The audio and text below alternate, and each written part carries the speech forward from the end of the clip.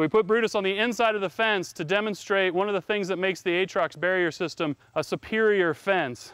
So what just happened there is the key reason why the Atrox barrier system is the superior snake barrier on the market, and that is any snake that's caught inside the fence when you erect it has the ability to escape. The A-frame is only on the outside, so a snake trying to get into your yard can't get in, but any snakes that you trap inside the fence can crawl right out.